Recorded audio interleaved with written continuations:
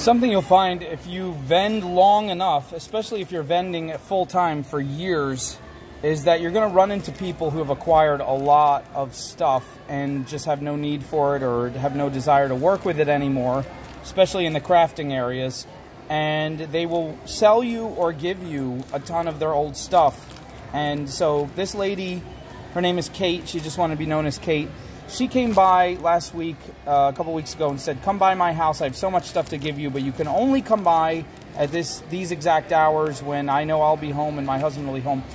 I thought, oh, that's right in the middle of the selling day. I could lose sales, but you know what? I'm not going to look generosity in the eye and complain. So I made the trek out there, and I can't begin to tell you. She had the most amazing craft room with just shelves and boxes and tables and shelves and boxes, all organized perfectly, beautifully clean. And then she just started loading up boxes of stuff and like containers of stuff, Ziploc baggies full of stuff, and handing me hundreds of dollars worth of stuff. Not even sure I can use three quarters of it, but just the one quarter I definitely can use is amazing. I want to show you guys some of this. So, just these stones alone, some of these stones are just, if you could just see some of the colors in here. I just wish the light and the focus could catch it at the same time. They are just so beautiful. I don't even know what this one is. It might be some type of dyed jasper, but a lot of these are, they're just all natural stones, um, all completely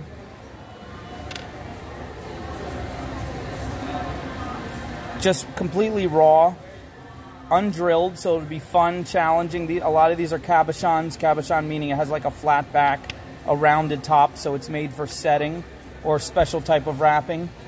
But um, I don't know what most of these even are. I mean, you can tell me in the comments if you know some. I, I can guess what half of them are, but these are just gorgeous stones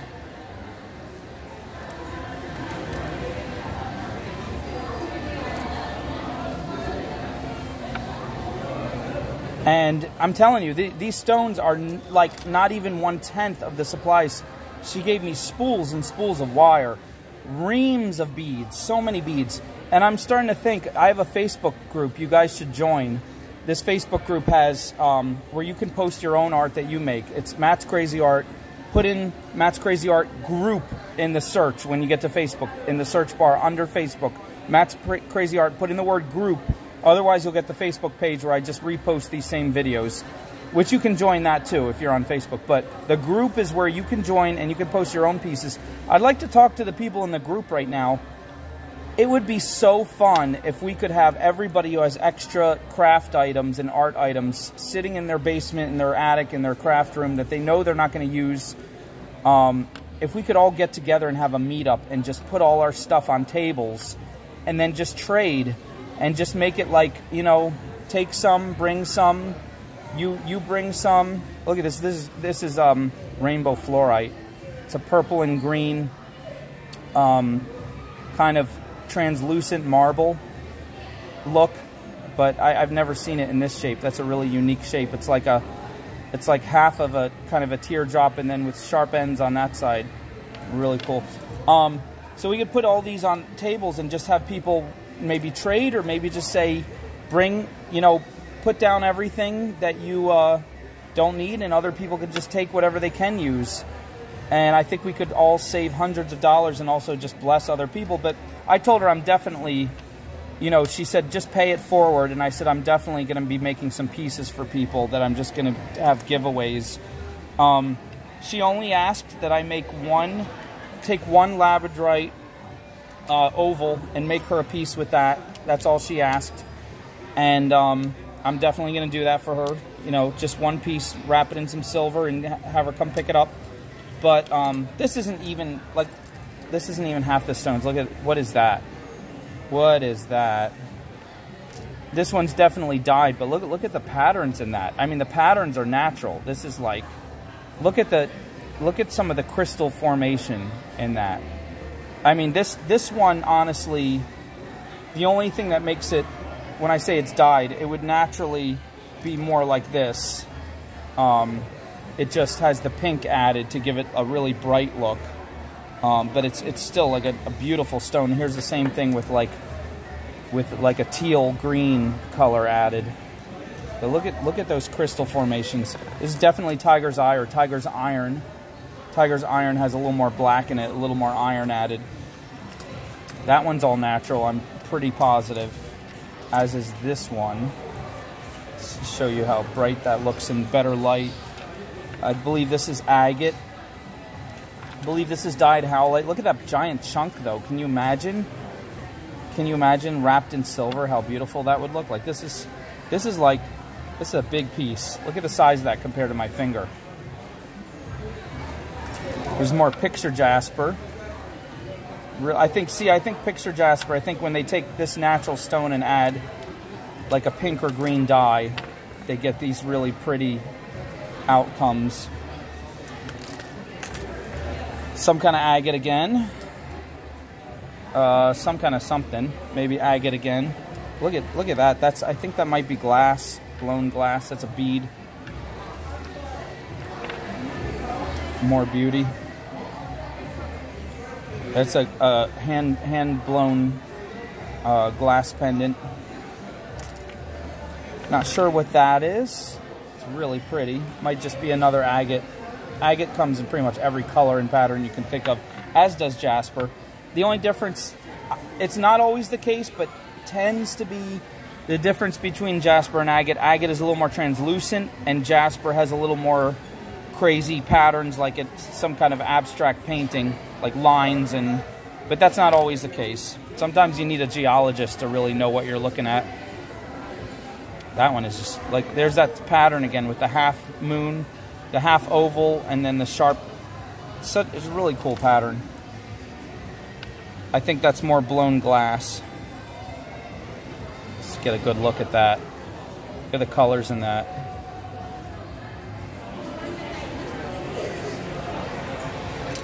I think I showed you that one in the beginning. This labradorite, look at the flash on this. That's a, a gray-green stone. Like, look at the rainbow that jumps across it when the light hits it. It has a little chip there, but I can I can uh, file that down. Maybe file the other corners to match. Make a cool piece. Here's another labradorite. These aren't even the ones she asked me to make or something with. These are just ones I get to do anything I want with. This, this is related to Tiger's Eye, I think. But the Tiger's Eye definitely has stripes, like straight line banding and this is more foggy but it has the same look and the same color bending in the light. It's really cool. This is beautiful. That just looks like like desert layers of, of stone just built up over centuries. So cool.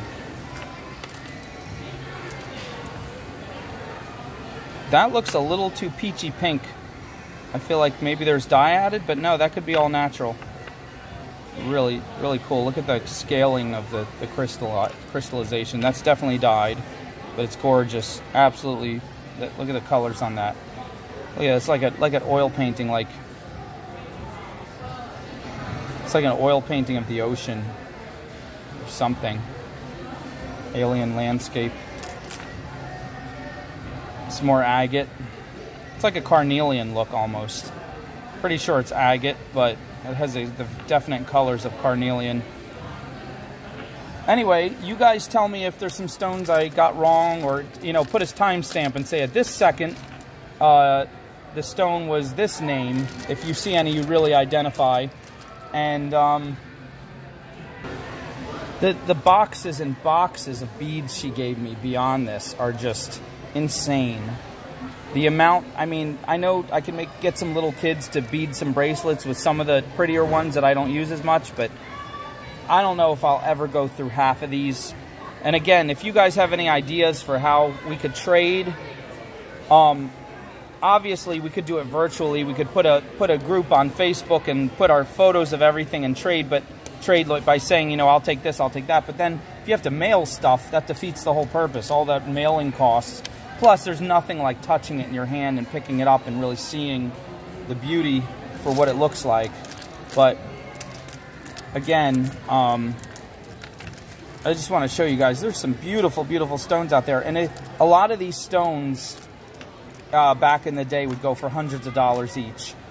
Nowadays, you can get them for 10, 20, 30 bucks each. And if you really look and you narrow it down online, you can get them for much, much, much less.